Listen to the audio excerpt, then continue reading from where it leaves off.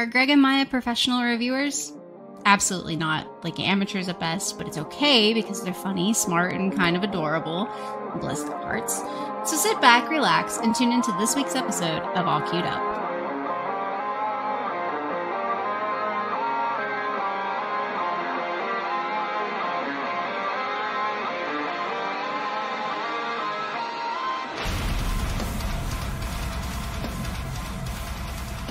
Hello, guys, gals, and non binary pals. Welcome to All Queued Up, the review podcast tied to streaming services. On today's show, we're going to be talking about the Doctor Who Special 3, uh, The Giggle. I was like, there's a title to it. Uh, we're going to talk about the Game Awards briefly, and I have a, my topic discussion. So let's go ahead and start with um, the uh, the Game Awards. All Oh, right. first, but first, but first, I gotta look at my notes because I've redone this for our soft reboot. But first, uh, I'm Gregg. That's Maya. How's your week been?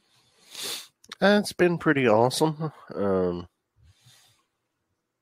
pretty laid back. Uh, pretty uh, pretty low key. Well, we did have a couple of things. You know, I got all of my Christmas shopping done, so I thought, and then ended up buying Misty a couple more things, and then Madison was panicking nervous about her SOLs, uh, standard of learning tests that they have in the state of Virginia for certain classes that are required to pass. I thought you were gonna say that she was worried about her shit out of luck. So I was like, I don't know what that is.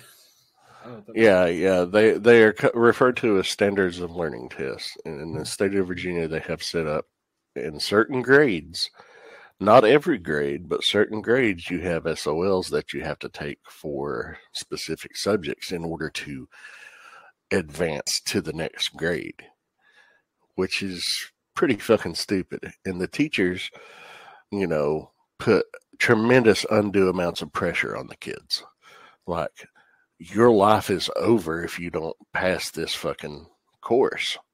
That, that's essentially the way they talk to them and treat them, and it's bullshit.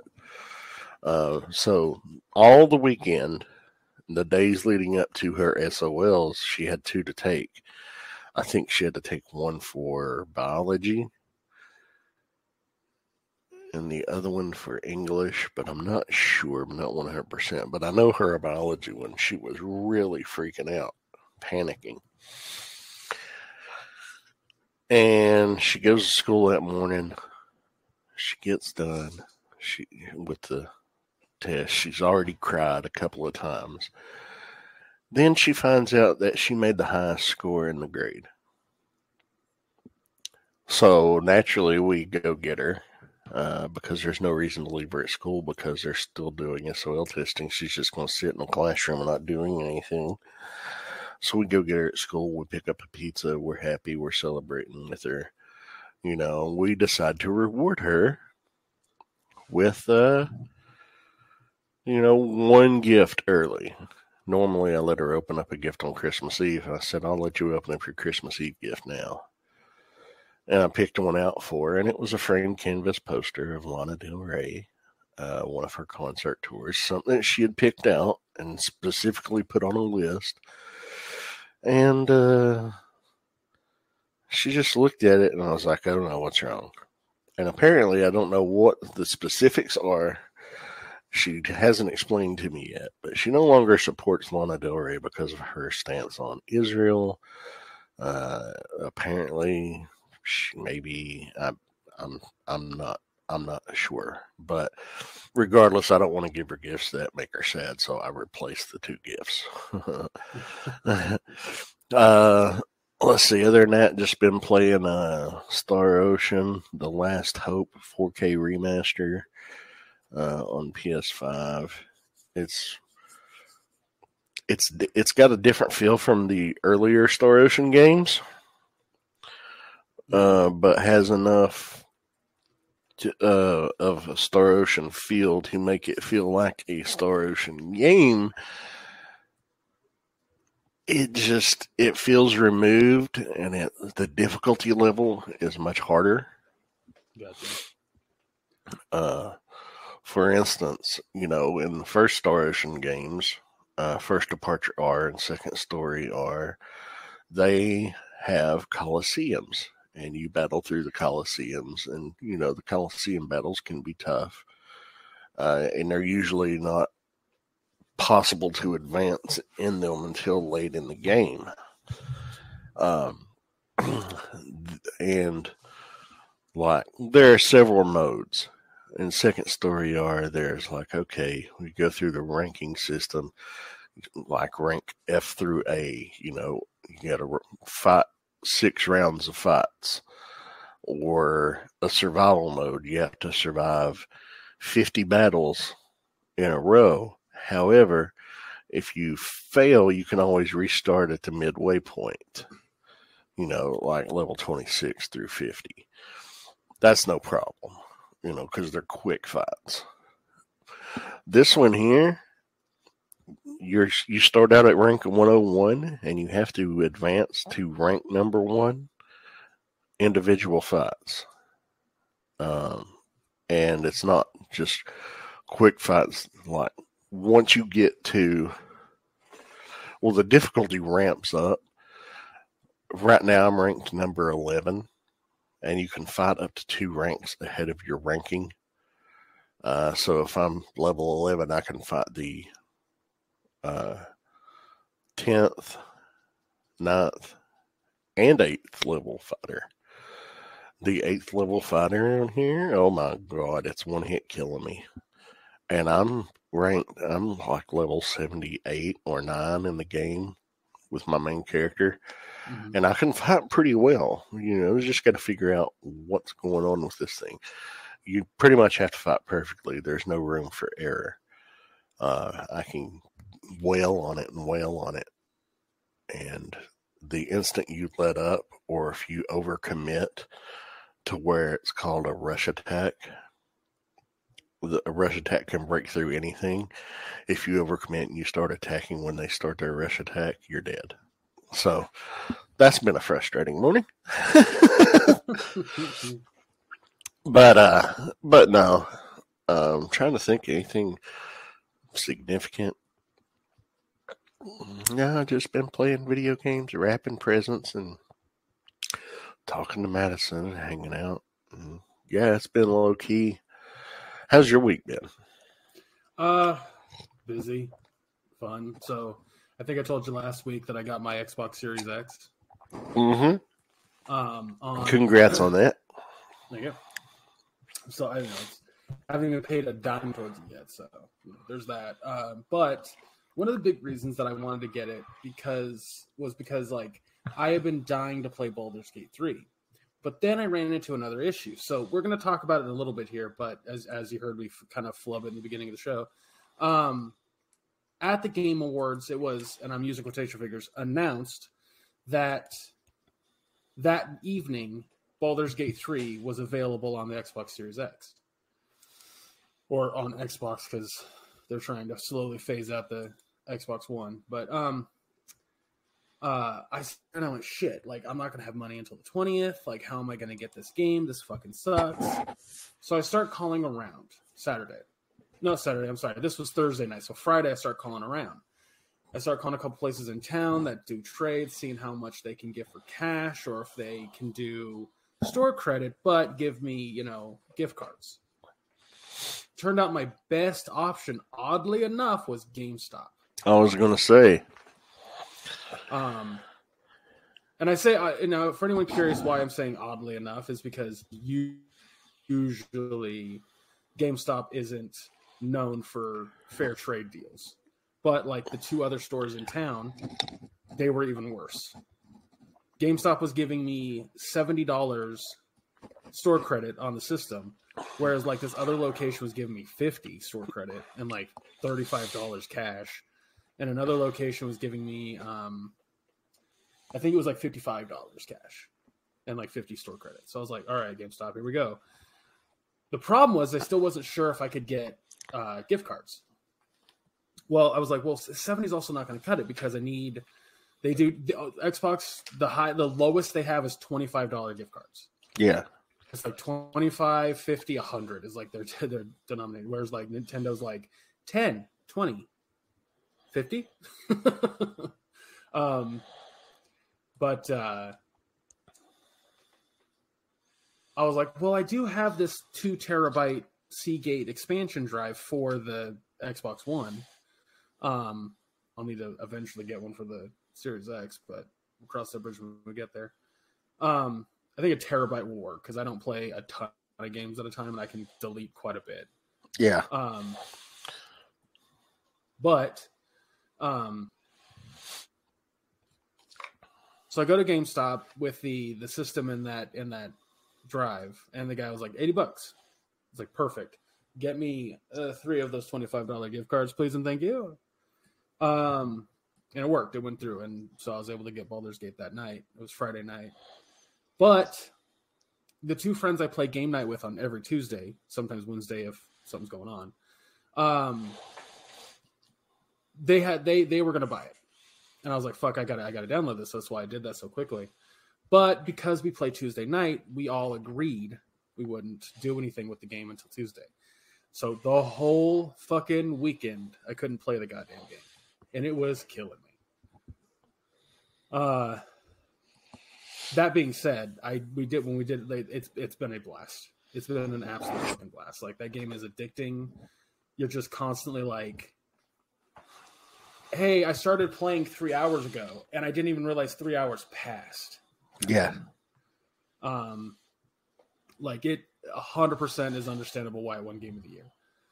Because the other the other aspect is that like we'll play for three hours and we, we're like, oh, we did a bunch, and then we realize that we've done fucking nothing compared to the actual size of the game. Yeah.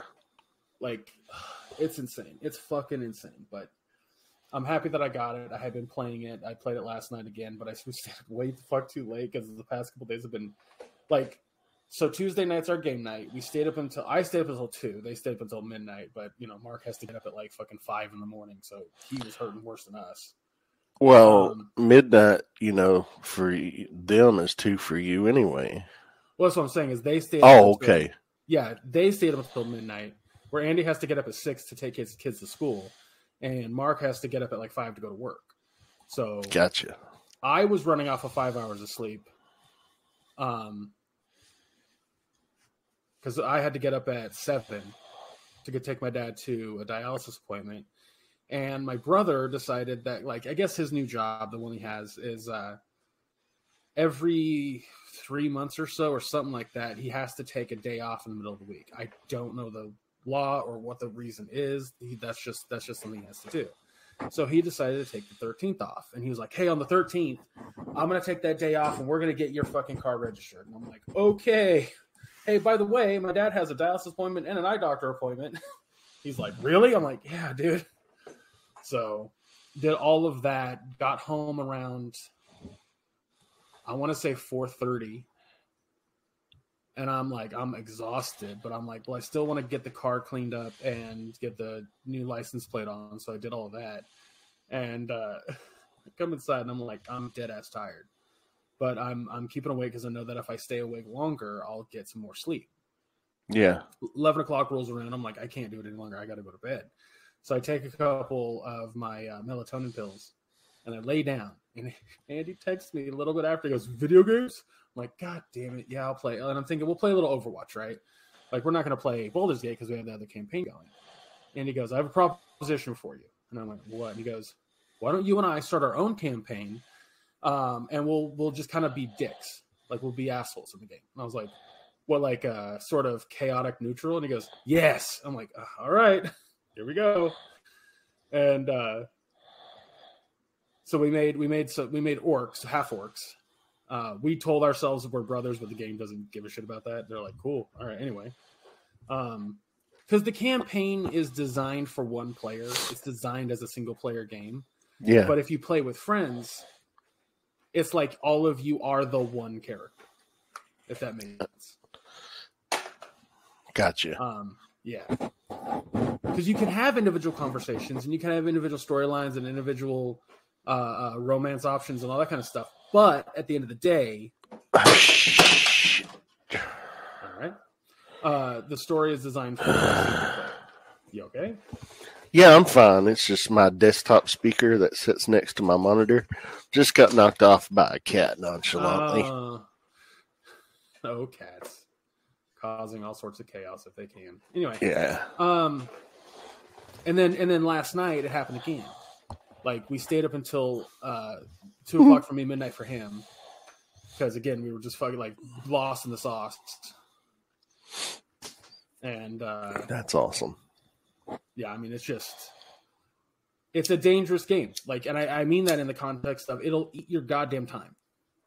It is a time vampire of a game. I love a game like that.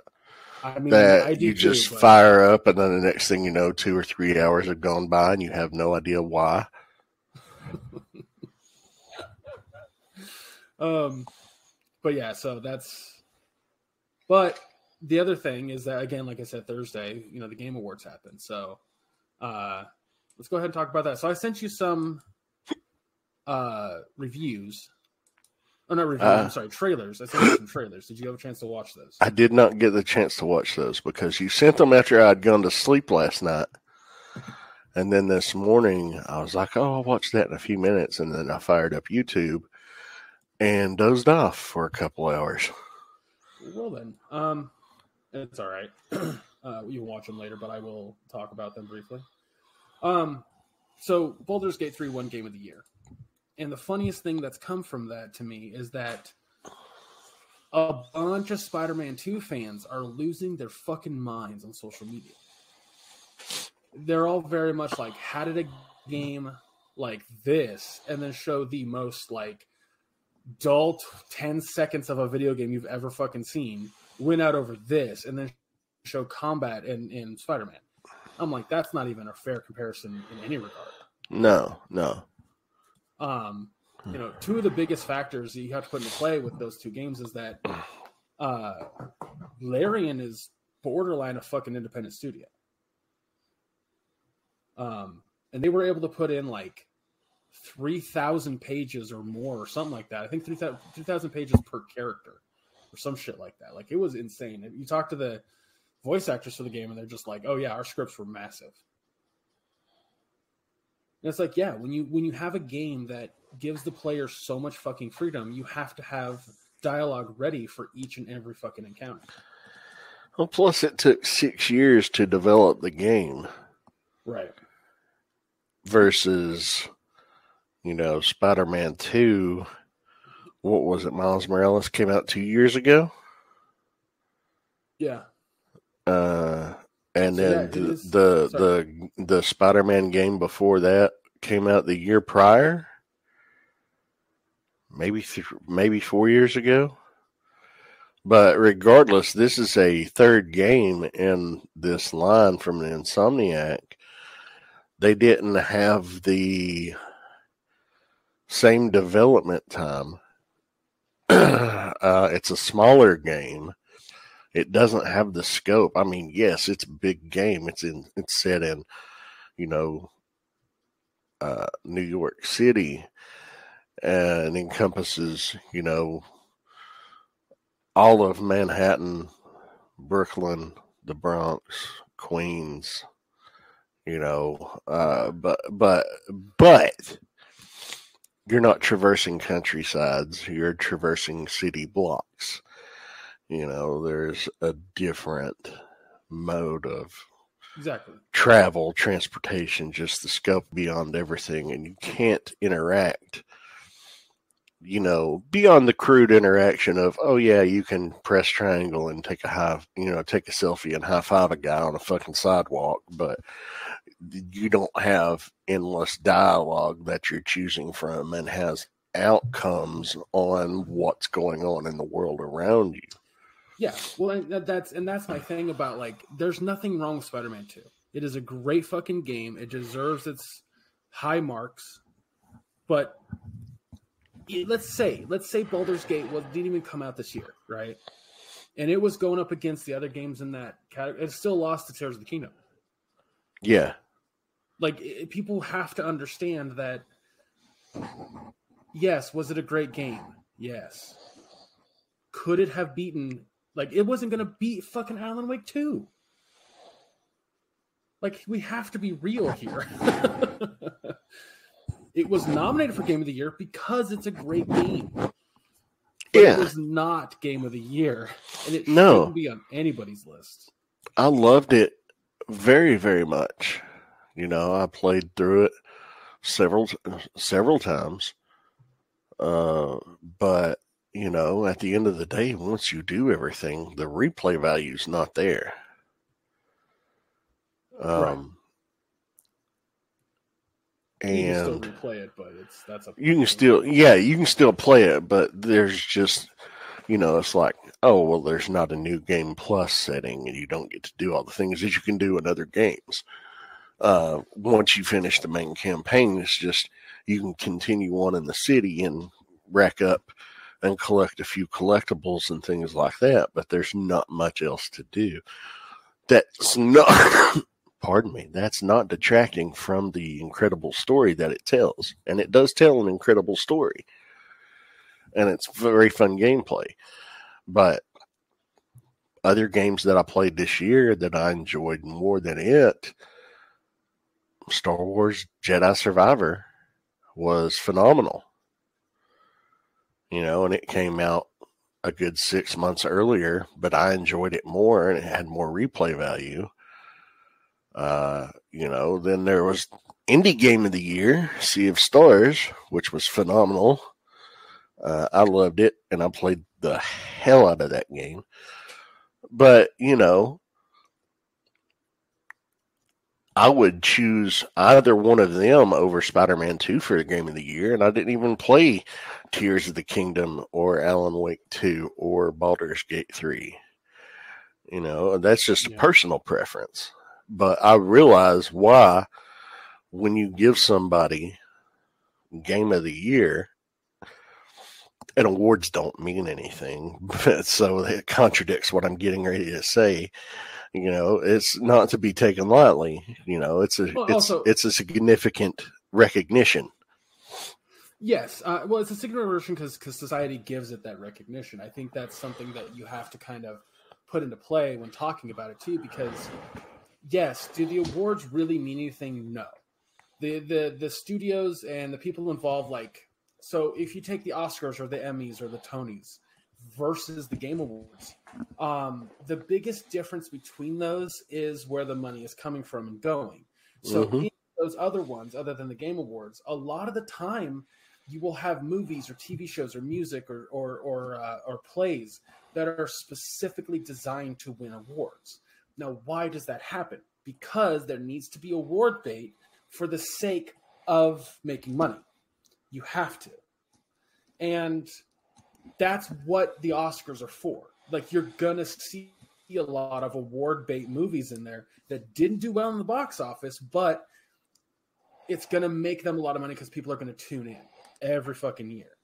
Um, like the player, uh, not player, but the uh, the viewers' choice awards or whatever, I think are way more important because that's you know we get to vote on that. Um, the game awards don't do that. Does it still made? Is it still there to make money? Yes. Now because it's it's an award show and they have to make money, it's less so due to the fact that the industry itself is still pretty young compared to the other ones. And Even though it makes more significantly much more money than the entertainment industry of Hollywood. absolutely. Uh but because it's it's it's smaller, a lot of the people that are involved with it have investment into it, aren't like the people with the investment with the movie studios, the music industry, and and, and Broadway. Um, I mean, scumbags. so that's kind of kind of like something that I love about why to me the game awards are a little bit more important. But at the end of the day, it doesn't matter. It really doesn't matter. No. Um, because, and this is something I've been pointing out to people for years, the reason the game awards exist at all is to show off trailers or announcements. Like that's it. Geoff Keighley has two events that happen every year. He has uh, Summer Games, or what the fuck ever it's called. I don't remember the to- total title of it, but there's that one, um, and uh, and then this the Game Awards. And those two events show off a shit ton of trailers, announce a bunch of shit. It's an event. It's just an event to get you hyped for the next fucking game. Yeah. Nothing really wrong with it um, in that regard. Uh, but people like argued like, oh, the point of it is to have awards. No, because they did the math, and 18% of the entire Game Awards three-hour event was awards. Was actual awards. 18%. The rest was trailers. So come at me again with it's not for trailers, and I have the fucking stats to back it up. Um, that being said, there were quite a few trailers that I got. It, like I was like, oh, that game looks interesting. Uh, one being Usual June, which looks like it's just kind of a um, hack and slash sort of game, but to the backdrop of like a young girl's, you know, coming into womanhood sort of thing. Mm-hmm. Um, Harmonium, which is a rhythm game from the perspective of a deaf girl. I thought that was unique. I was like, I want to check that out. Uh, Windblown, which is an isometric hack and slash. It kind of reminded me of Hades a little bit Yeah. because it looks like it's going to be. Uh, um, uh, looks like it's going to be. Uh, uh, oh my god, a roguelite? Jesus Christ! But it's a multiplayer roguelite. You can get Huh. three players. It looks like, yeah. So that it looked like it kind of it kind of surprised me because the trailer starts off as like a cartoonish thing and then gets real fucking viscerally dark.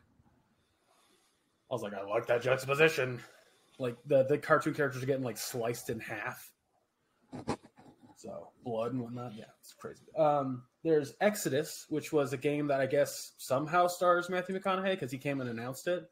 All right. Yeah, it looks like uh, they got Matthew McConaughey because he was in. Um, oh, why can't I think of the name of that movie? Uh, the space one that he was in, the Interstellar. Interstellar. Thank you. Yeah, it looks like because it like essentially like the main character you play, um, they're being attacked by some alien race. He sends her on a ship away from the black hole that they're going towards. No, not a black hole. I'm sorry, a, a, a light speed gate, or yeah, speed speed of light gate, or something like that. And him and the aliens go through it. When he comes out the other side, he finds out that his daughter is like old because of the time dilation. So I was like, cool, I'll check it out. It looks neat. Uh, Visions of Mana, one of the games I think you'd be more interested in. Yeah, I saw something about that. Looked interesting. I mean, I, I, I assume you like the of Mana series. Yes, no, okay. Um, Sorry, Misty is getting ready to go get Madison, and she was telling me bye. Um, but but yeah, it's. Uh, I've seen a little bit about it, but not much. uh, well, the, the, I mean, that's the there's only the trailer that they've shown, so that's I haven't watched it yet. I just saw an article about it saying that it was in the spirit of the Legends of Mana and Secret of Mana. yeah. I was, that's what I was asking is how much of the Mana series have you played? I have them, not played them.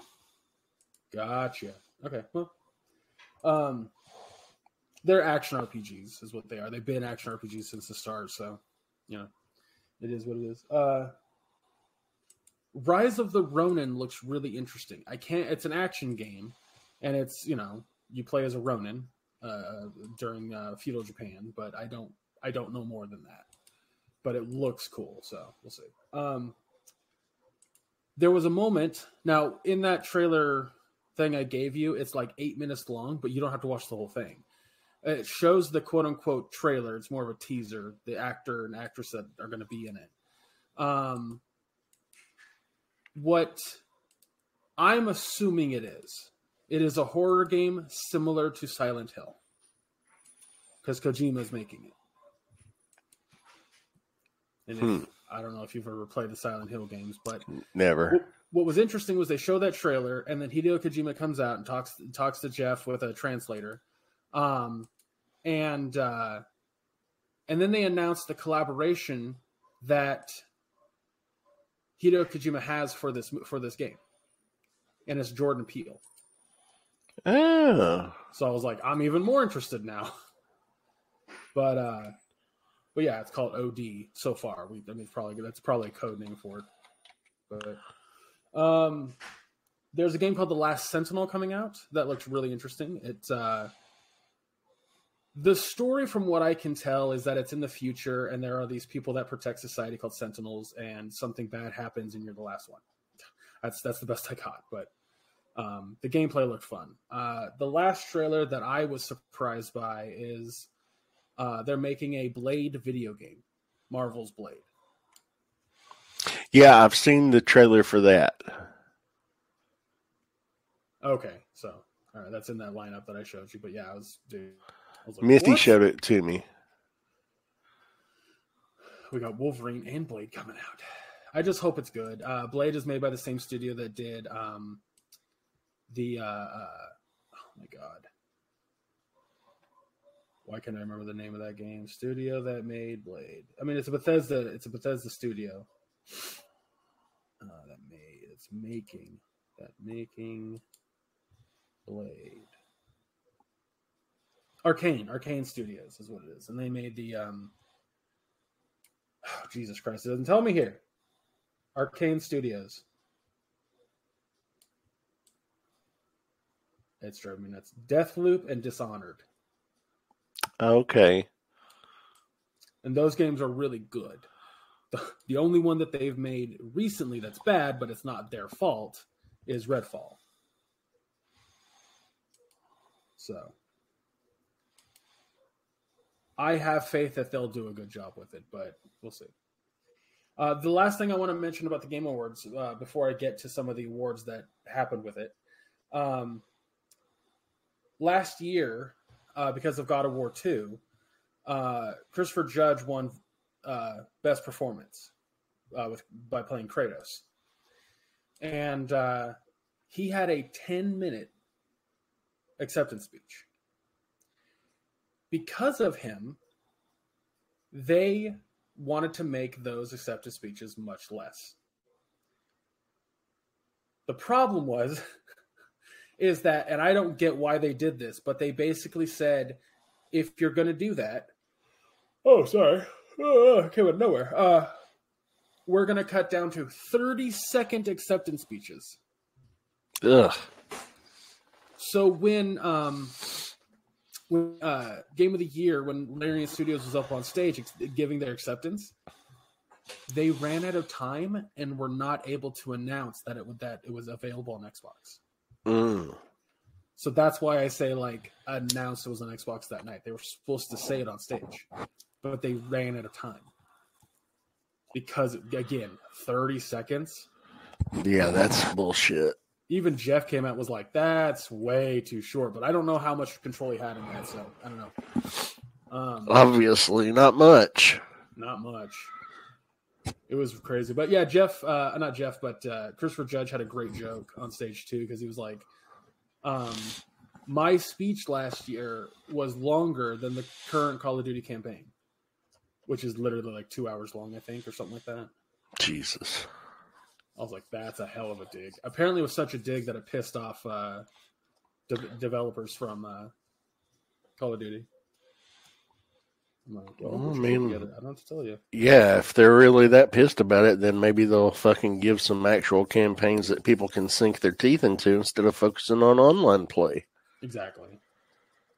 So, um, let me go ahead and run down. The main reason why I don't buy Call of Duty games and never played them is because I know they don't have campaigns for shit. Uh, that's it's hit or miss. Like Modern Warfare Two is still easily one of the best campaigns. I'm sorry, Modern Warfare. Modern Warfare is easily one of the best campaigns. Modern Warfare Two is a close second. Um, and then after that, it was like really hit and miss until Black Ops, the first Black Ops, was really good, and then it just kind of went downhill from there. Uh, they tried to do a Cold War one. They even tried to go back to World War One, but it just not World War One, but World War Two. It just didn't really work. Um, and then they did one that I thought was really fucking interesting, and that was a space that was a future one where you're like in space for parts of it. It was like zero grav, and it was a fun campaign. It was really cool and creative. And the gamers went, "Ah, it fucking sucks." And I was like, "Cool, we're never getting that again." Then Yeah. And ever since then, it's just been garbage campaigns. But um, so uh, I'm going to go over some of the awards that happened, uh, who won them. I'm not going to go over all the nominees, just who won. So for best action adventure, it was uh, Tears of the Kingdom. Uh, best action game was Armored Core Six. Best family game went to Mario, uh, Super Mario Wonder. Best fighting game was uh, Street Fighter Six, which pissed off a lot of people because they thought that uh, Mortal Kombat One should have won, but whatever.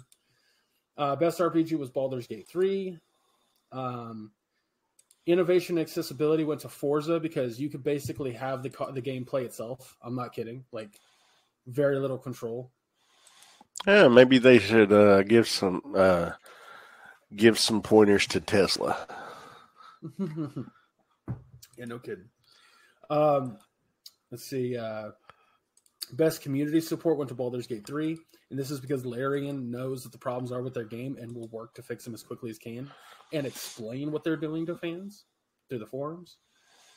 Uh, best debut indie game went to Cocoon, which I've played that because it's on Game Pass and it is fun. Best indie game went to Sea of Stars, which is exactly what I told you last week. Was that that was going to win best indie game because it is. Yeah. Um, best ongoing game went to Cyberpunk 2077 because mainly of the uh, Phantom Liberty DLC. Yeah. Uh, best performance went to Neil Newbon for Astarion and Baldur's Gate 3. Best audio design went to Hi Fi Rush. Uh, best score to Final Fantasy 16. Uh, best art direction was Alan Wake 2. Best narrative was Alan Wake 2. And best game direction was Alan Wake 2. Which I need to watch that game because there ain't no way I'm going to be able to fucking play it. Um, I don't do horror games. I can watch them, I can't play them. Uh, and then game of the year went to Baldur's Gate 3. So it was like Baldur's Gate 3 and Alan Wake 2 like won the most. But it's funny because everything that was in the nominee for Game of the Year won an award, except for Spider Man 2. that sucks. I mean, sure. I mean, it does suck, but at the same time, okay. It wasn't good. Listen, it wasn't going to beat fucking uh, uh, Tears of the Kingdom for Best Action Game. No. Um, it, let's see, what else did it? What, what else was that up for? Uh, it wasn't going to beat fucking innovation accessibility versus Forza. Good lord, Forza like Forza's fucking accessibility options are unmatched. Um, it wasn't going to be audio design against Hi-Fi Rush. That entire game is based on audio design. Uh, like people are mad that um, the guy who voiced uh, Spider-Man or Peter Parker, uh, I can't think of his name, Yuri Lowenthal people are mad that he didn't win best performance. But like that's the problem with with Yuri. I love Yuri, but Yuri doesn't have a shit ton of range. Neil Newbon does. Like his his range is insane. Um, in Resident Evil Village, he plays one of the bad guys you fight, named Heisenberg. If you listen to Heisenberg and Astarion back to back, you would never guess it was the same voice actor. Never. Hmm. They sound polar opposite. Uh, it was up for best score. I haven't listened to Final Fantasy 16 score, so I couldn't tell you if it was better than Spider Man's, but uh, it wasn't going to win Best Art Direction against Alan Wake 2. It was not going to win Best Narrative. I'm sorry. That game is great. I have nothing against it. But the, the, the narrative in Alan Wake 2 and Baldur's Gate easily better than Spider Man. And best game direction. Like, there's a reason that Alan Wake 2 won best game direction. So, I'm just saying, like, it was a rough year. Like, the, this year was stacked. Yeah, it really was. So, um, all right. Well, we're done with talking about that. Uh, so I have a topic discussion before we get to the Doctor Who review. Goddamn cat. cat is a menace. Um, so I, I was watching a few things recently, and I got to thinking, and it was a very it was a very strange concept to me. But have you ever noticed how Star Wars gets a lot more ire from fans than Star Trek? Yet Star Well- Trek has more content. Yeah. I wonder why that is. Like, is it is it Because one Star- caters to a broader mass than the next, even though they both are. Uh, well, there's. I think there's more appeal, mass mass appeal, for one over the other, and I Because I think was- as a result, you're going to get more ire from the fanboys. That's yeah, that's kind of where my mind was in regards to that was um it, it's like Star Wars has always been kind of easy sci-fi. Like, you know, let's say, you know, if you go fantasy, Lord of the Rings is high fantasy Mhm. essentially whereas like Harry Potter is easy fantasy or soft fantasy. Does that make sense? I get what you're saying. And I feel like that's the same with with Star Wars and Star Trek. It's just so interesting to me. They're both like high fucking um high sci-fi. Not high sci-fi, very popular sci-fi. You just you never see a ton of anger directed at Star Trek. You do, you see it, but it's like it's so quiet and not that like big of a deal. I don't know. It just caught my eye. I was like, Star Star Star Wars does not have nearly as much content as Star Trek. You know, there's hours and hours and hours of Star Trek, but the fans just kind of accept the bad and go with it. Whereas with Star Wars, it's like one bad movie ruins the whole fucking franchise. It's the same thing with fucking Marvel right now. It's like one bad movie, suddenly the franchise is dead. It's like, what the fuck are you talking about? Yeah. But uh I know. I just wanted to bring that up because I was like, I'm kind of curious as to why, and I think you nailed it. It's it's there's a different type of fan base. Well, you know, when you have a larger cross section of uh, fans, you're going to have more broad opinions. And then, I mean, today's society, people latch on to what they fucking hear. You know, they want they th- that cognitive bias. They something that they hear that backs up what they think already and they just repeat it instead of looking into it. It's people suck. People just fucking suck. Yeah, I mean, it, it, yeah, people collectively, a mob mentality. I don't mean individuals. Well, yeah, it's, it you know goes back to that line from from uh, the first Men in Black movie. It's like a person is rat- rational and and calm. Uh, people are panicky and, and disorderly, or whatever the fuck he said. I'm sure I'm getting that quote wrong, but whatever. I get the gist of what it's supposed to mean, though. People are definitely dangerous. Yeah. I just, you know, I, I would like to, because, like, there are two Star Trek shows that are immensely fucking well received and very good. I enjoy both quite a bit. That's uh, um, Lower Decks and Strange New Worlds. Great fucking shows. And, uh, um,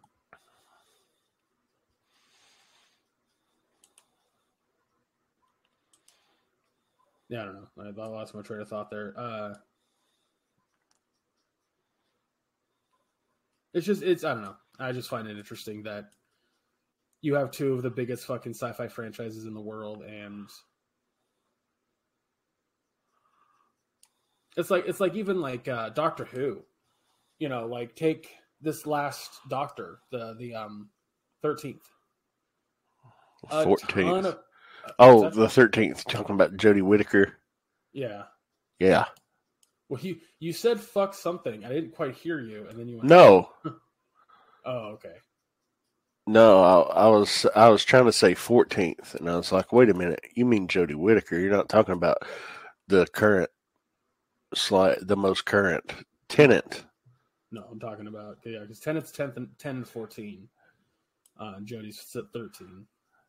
But the reason I bring up Jodie is because like something that I've been seeing a lot with the um since these specials is people being like, "Oh man, Davies is back, so everything's gonna be better because the last guy was terrible."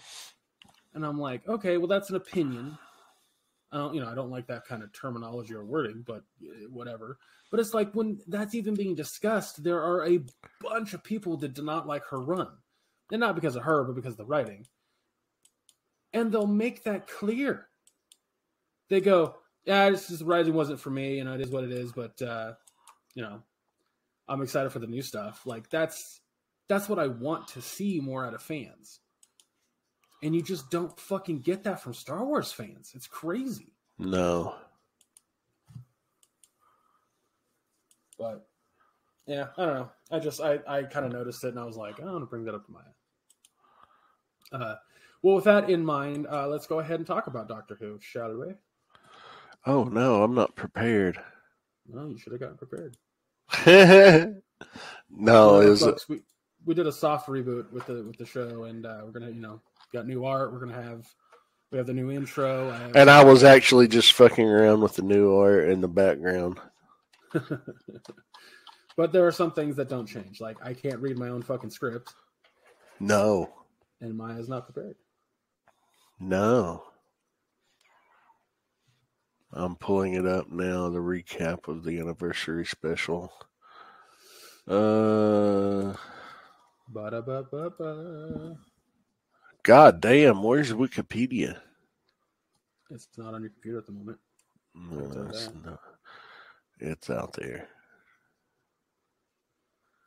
Something I found out about Texas uh, yesterday, getting my uh, uh, license plates, is that you have to have a front license plate, or you can face up a two a t- up to a two hundred dollar fine. That's the same in Virginia. Uh, but California did not give a shit. Same as in Virginia. All right, the giggle.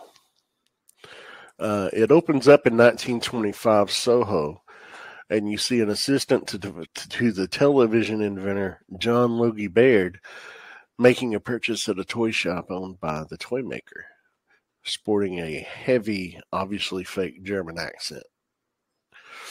Uh, in the present day, the toy maker causes havoc around the world and faces off against the Doctor and Donna. Playing a second game against him, the Doctor loses, but they agree for a third match to end the draw. The Doctor and Donna go to unit, reuniting to Kate, reuniting with Kate Lethbridge Stewart and Melanie Bush, and together they discover that the toy maker has been using a hidden laughing sound in all screens since the advent of television. The toy maker shows up and zaps the doctor with a galvanic beam, causing him to bigenerate, allowing the 14th and the 15th doctors to coexist.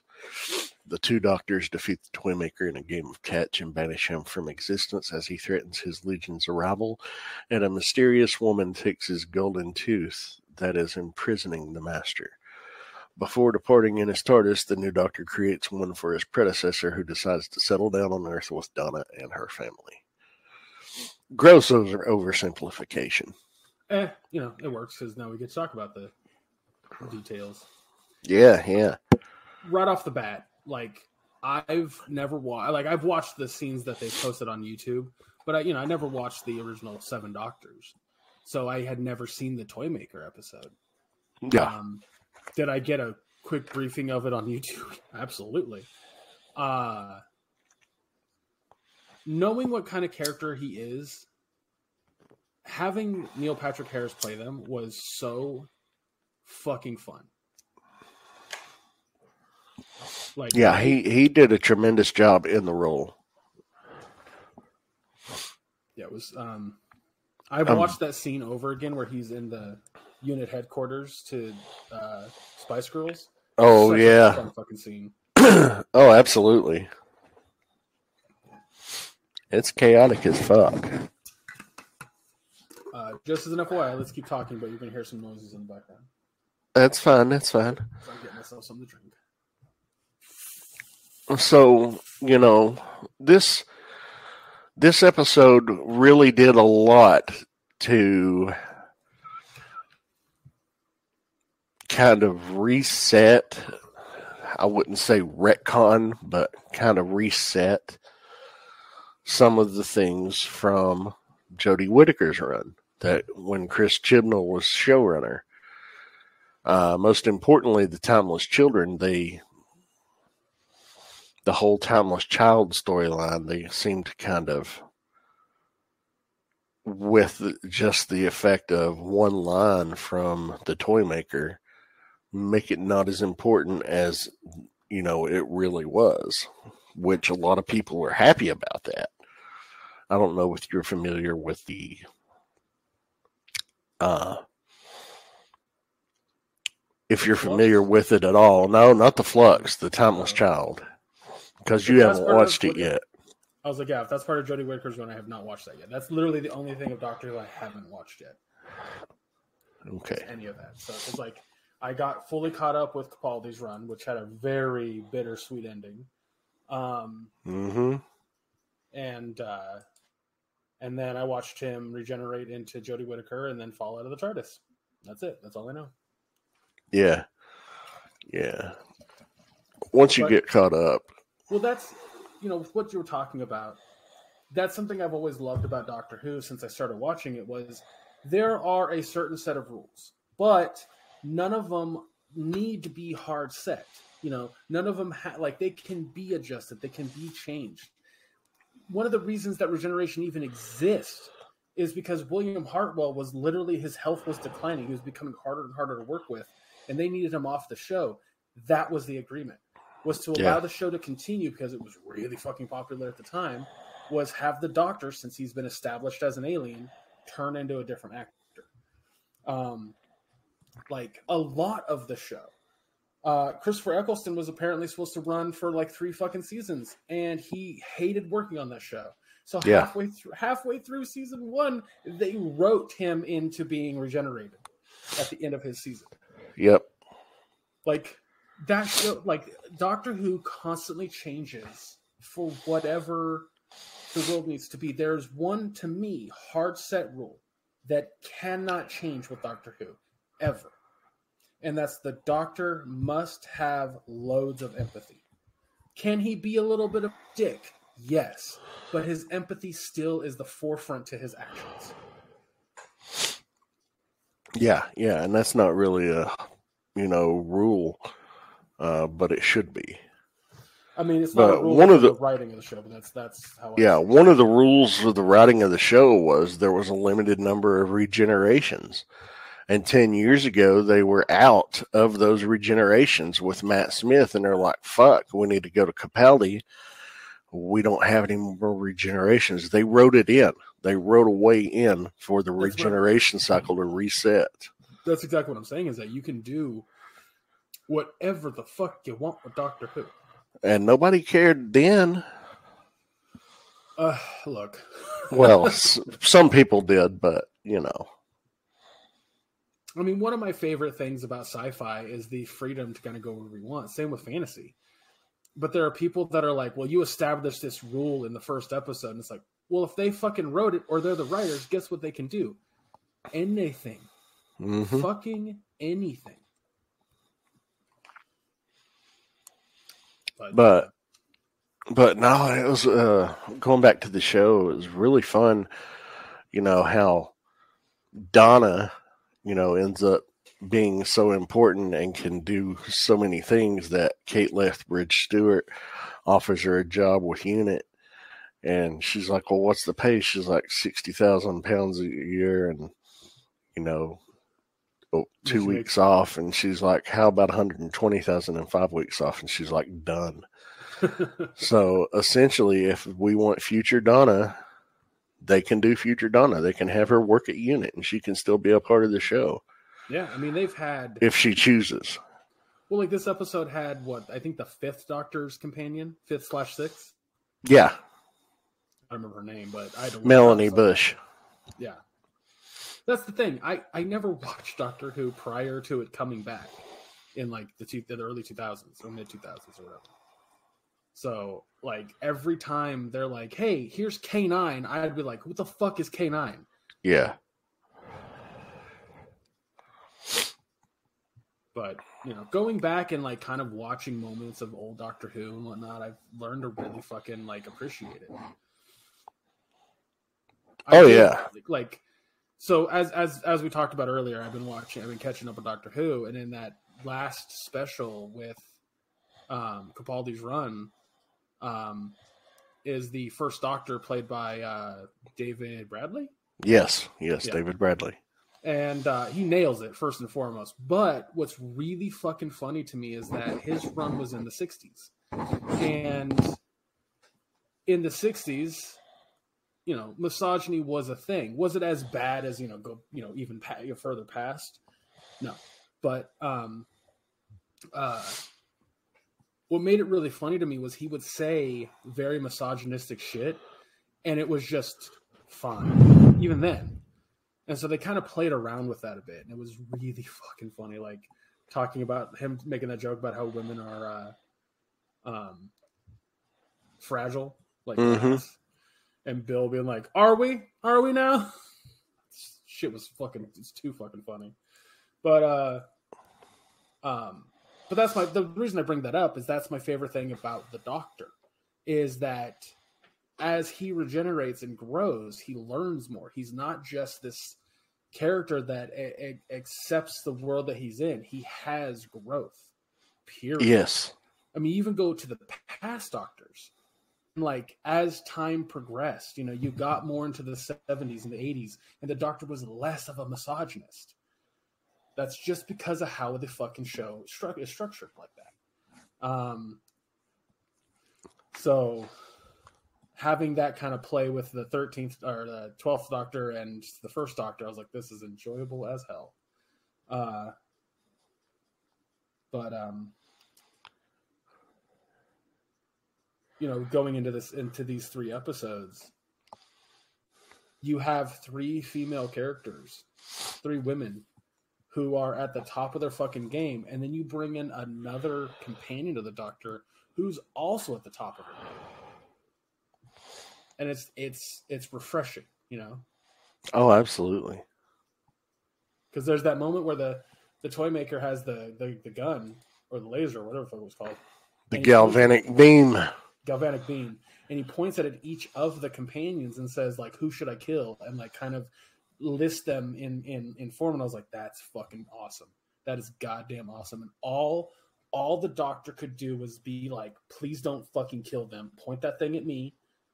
Like don't Yeah, threw himself in front of the path and he's like, take me. that's all he could do. Now i do have a question. Yes. So in the episode they constantly say that bi-generation is a myth or they said they'd always heard it as a myth do you think that bi-generation only existed because it was the toy maker's domain I, Or did, I, I did. I don't know.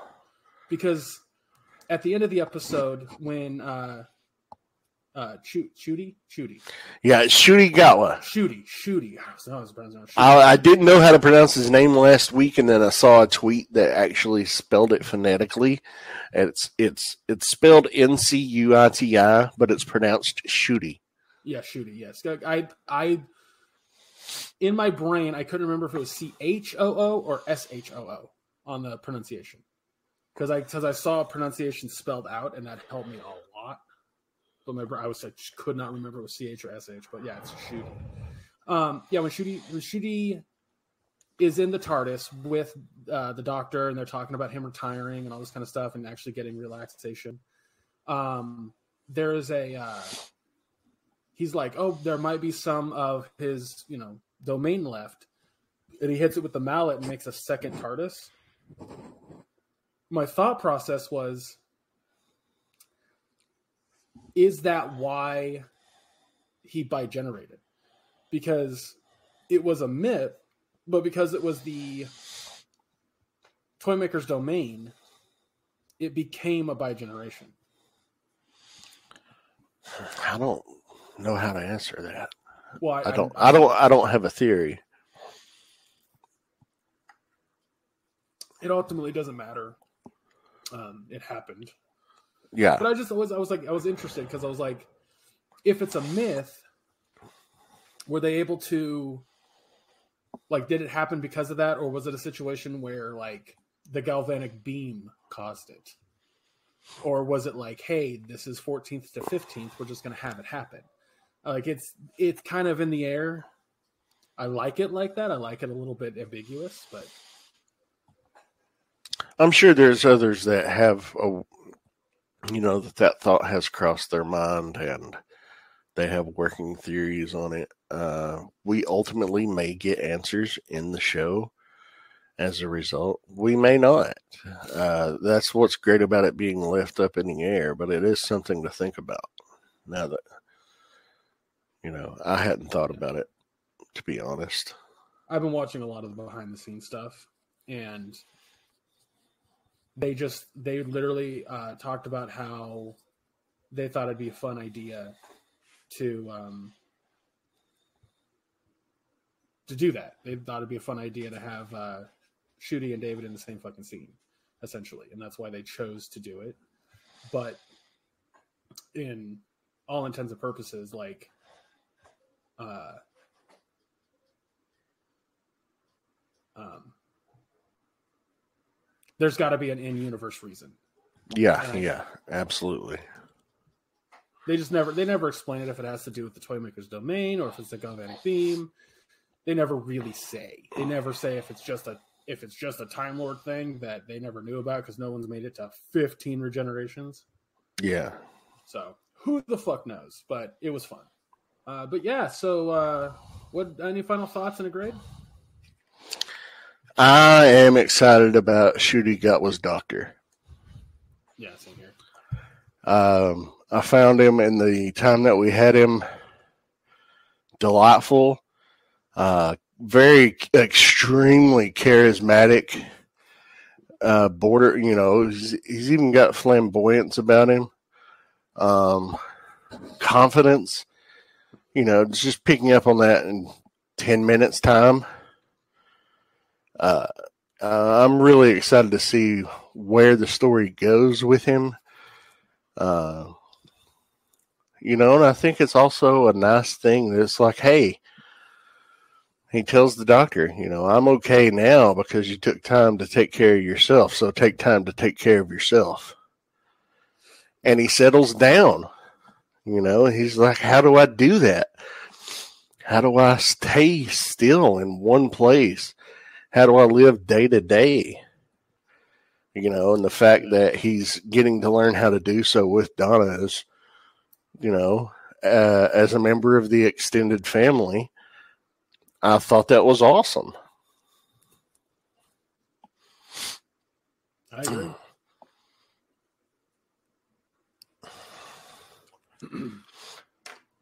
What about you? I mean, what? Any Uh, final thoughts on your end? I think I think it was lovely that David Tennant came back for a short run. Um, you know, kind of set up it set up this fun idea like I think all of us, especially Who fans, were trying to figure out why Tennant came back at all. Like why the 14th Doctor looked like the 10th Doctor. Like what was the reasoning behind it? And it was ultimately to finish like business that he had essentially. Like yeah, the whole thing with Donna and like it kind of felt like you know, it put a sense of fate, uh destiny if you will, on the doctor. And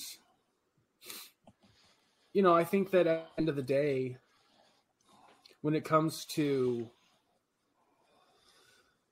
who the doctor is and what he does, it's sacrifice. It's constant, constant, constant sacrifice. yeah, And he never has time for himself. Or at least if he does, it's short short lived. Um and uh it was nice that the like yes, thank you, Christopher Eccleston, for for for playing the doctor and starting off this second phase of the franchise. But it was really Tennant that, you know, sparked it. That lit the fire, I guess. Yeah. That was the spark that that Tennant was the Tennant was the fire. Because I've talked to tons of people who really like Doctor Who now, and it's Tennant. It's not Eccleston. You get a few Ecclestons here and there, but it's mostly Tennant. I really enjoyed Eccleston. Uh, Oh, I enjoyed I enjoyed Eccleston more than I enjoyed Matt Smith. That's, Uh, that's an opinion. it is an opinion. Uh, I enjoyed Matt Smith's opinion uh, companions more than I did Matt Smith. I I get that you didn't like Clara Clara, but I really liked Amy. Really, really liked No, that, that's what I'm saying.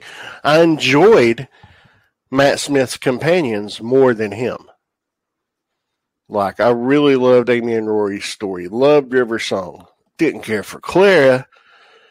Um,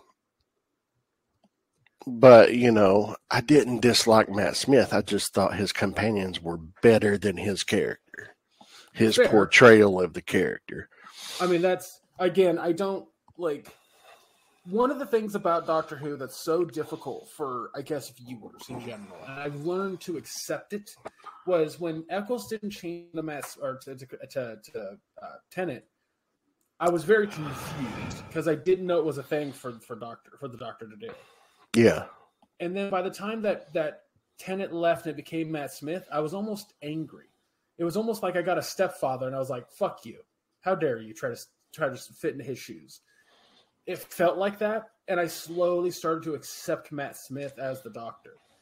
But then you go, you know, you go to you go to Capaldi, and I got so used to Matt Smith that this new type of Doctor, I, it, it pushed me away and I and I watched Capaldi over the past couple of years very slowly, and I started to appreciate him. And I got to the point in my life where I'm like, if you're gonna be a Doctor Who fan, you have to accept the next regeneration. You have to, yeah, because that's that's how the show survives. That's how it lives on. And uh, if you want it to survive, if you want it to live on, it's like, well, I'm never, you know, if I like Star Star Trek, I'm not going to suddenly be like, I'm not watching any show that doesn't have Picard. I'm not going to watch any show that doesn't have Janeway. That's stupid. It- like, yeah, you like that captain, but that captain belonged to that show. That's Yeah. kind of the same thing with Doctor Who here. There's always going to be a new captain. There's always going to be a new version. and new crew members. and if you love the franchise, you, you kind of have to accept that. Sure, can stories be written poorly? Absolutely. That's a whole nother can of worms. But Doctor Who survives and dies by its regeneration. And maybe not dies, but it survives and whatever. It survives by its regeneration. So Yeah, when like now I'm excited to watch uh, uh Whittaker. I'm excited to watch her run. I'm excited to watch Gatwa's run. So it's it's it's interesting. It's Whittaker's run was unfairly criticized just because, as you're aware of it being a woman, yes, yes, yes, yes. but she was a lot of fun. She brought a lightheartedness and heart to the role. I don't agree with some of the writing choices that Chris Chibnall made, and apparently uh, Russell T Davies felt the same. Uh, but a lot of fans were angry at some of the choices that he made, but some of the choices that he made were brilliant to keep the show moving along. Uh, I think you'll really love this version of the Master uh, when you get to him. yeah. But Missy was great. Missy was fucking Oh, fantastic. So. Missy's hard to top. And this guy doesn't top Missy to me, but he was pretty great. Yeah, I'm looking forward to it. I'll, I'll get to well. uh, I don't know how soon I'll get to it because of you know two other things next week. But anyway, Well, Uh, there's there's eight episodes. I think eight, maybe ten episodes in the first two seasons of her run, but there's only like six episodes in her final run, plus three specials. But everything is on HBO Max. Yes, yes, yes, yes. I, I double checked. I double everything with her is, is on there. Yep. Um, all the specials, all the episodes, everything. The only thing that's not on there are these three specials that are on Disney Plus, which I'm not 100 percent sure why they're on Disney Plus and not Max, but Yeah, that's actually something I was going to look into after we got done recording. Where are we going to watch the new show Christmas Day? it'll be on Max. Oh, I it know. will. I know that for a fact. It's the new season that I'm concerned about. Yeah. I'm sorry, I said that wrong. I'm sorry. The Christmas special will be on Disney Plus. My bad. Yeah. Yeah. bad. Yeah. Yeah. I said that totally wrong. I get what you're saying though. But will the new season be on Max? Like what what is BBC up to? I mean, I think I have BBC America, so it doesn't matter. But, you know, for those people that don't, what the fuck? We'll figure it out. We'll talk about because we're going to review that season. Yes, yes, absolutely. Oh, oh, shit! Oh, Because hey, if you've not figured out by now, we're Doctor Who fans. I'm glad I got like it's really funny too because when Eccleston's run was going on, we didn't have a way to watch it other than pirating straight up. And then uh season two of this like or series two, I should say, with with uh Tennant, Tennant. was also pirated. But then BBC America came to our cable program uh, plan, and then we were able to watch series three, four, and four and on. Which is how my mom, I got my mom into it because I was like, "Hey, I have every episode on this flash drive." I never watched an episode of Doctor Who until after the 50th anniversary 10 years ago aired. Wow. I never saw an episode. So, of course, I started with I started with uh, Eccleston. I remember when it came And- back, and people were like, "Oh my god, Doctor Who was back after that terrible fucking movie in the '90s." which I've Like, never they- seen. I, I don't care to. Um, There is a short film that shows um eight regenerating into the War Doctor. yes, Have you I've seen that? I've seen that. Okay. Um, yeah, there's a connective tissue between each and every doctor now. Because I believe, if I'm not mistaken, you can actually see the War Doctor regenerate into Eccleston, Yes. or like, At the end of the 50th anniversary special, I think it was. yes, yes, yes, yes. So, but uh, Even though Eccleston didn't actually film the part. no, it was yeah, it was a. That's what I'm saying is it was like through a fuzzy mirror, and you're like, oh, that's clearly Eccleston now. It's always interesting too, because like I, I, I recently found out Eccleston has zero desire to ever come back to the show as long as certain people are still working there. Found that out very recently. I was like, oh wow. Yeah. But um, but yeah, I I fucking loved it. I'm excited for more. I'm gonna give the whole like this episode because honestly, like it really really delves into the character of the Doctor and his past. All three of them do. Um, more recent past, uh, like very fucking distant past, and then somewhat recent past, and like the Doctor is not infallible. He's just not. He makes mistakes. He's wrong all the fucking time but he tries to correct it and tries to do his best that he can. And he has unbelievable amounts of empathy, and that's what causes him to be such a fun character to watch. And this special uh, exemplifies that. So, and then of course you have like in this in the last part of the special, you have Neil Patrick Harris just being a fun fucking villain to watch. Oh, yeah. I'm, I love NPH. Oh yeah, same here. I actually got mad at my dad a little while ago, like when we were DoorDash, because uh, I had mentioned that this show was coming out or this movie was coming out with Neil Patrick Harris in it, or it was something. It was something that had to do with Neil Patrick. He's like, I'm not, I can't stand that guy. And I was like, how? Like, what did Neil Patrick Harris do for you to not like him? Like, the guy is fucking charismatic as hell. And he was like, oh, it's just like every time I see him, I just think of Barney from How I Met Your Mother. And I, Barney was awesome. And I go, so you didn't like the character of Barney, which fine, whatever. That's taste. Has no, like nothing we can do with that. but you have this weird concept that that's who he plays all the time. Well, I know that's not who he plays, but every time I see Neil Patrick Harris, that's the character I think of. So I just get turned off whenever I see Neil Patrick Harris. Dad, that's got to be the dumbest thing you've ever said to me. Has he watched Harold and Kumar? Yes, he was. Yes, played himself. played, played himself in the most exaggerated way, exaggerated way possible. Snorting fucking cocaine off of strippers' asses in a moving car. but there's also one of my favorite things, and that was uh, um, uh, Doctor Horrible sing along blog. Oh yeah, I love Doctor Horrible. Oh yeah, same here. But yeah, so it was just like in one of the behind the scenes thing for this too. He was talk. He was being interviewed on set, and he goes, "So yeah, Russell sends me the the script, and I read through the whole thing, and I look at my husband, and I go." I have to go to Wales and do this thing. uh, it's so funny, but um, but yeah, A plus, A plus across the board, all three episodes. Yeah, yeah, too much fucking fun. Phenomenal, a great, you know,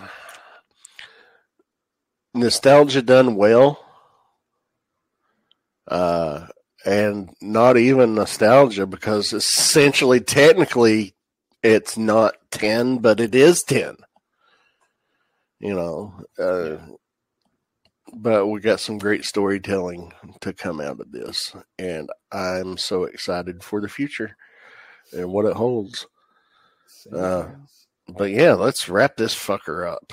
Yep. Uh, so next week, guys, we're going to be. Don't want to get it pregnant. Huh? said, let's wrap this fucker up. We don't want to get it pregnant. Gotcha. Boy, that that the connective on that joke did not come through. I was like, I don't know what the fuck she's talking about. Um. Uh. So uh, blah, blah, blah, blah, blah. next week, guys, we uh, so a lot has happened this year. There's a lot of stuff we didn't get to watch. So we're gonna review uh, season three of The Witcher, which was done in two different four part episodes. Um, so it'll be eight episodes total that we're gonna watch. Um, For me to watch again. I have not watched it. We also I like watched it three recently, we're gonna times. Uh, but apparently Maya likes it a lot, so we'll see how I like it. I'm a Witcher fan. What can I say? That's true. God, is that ever true?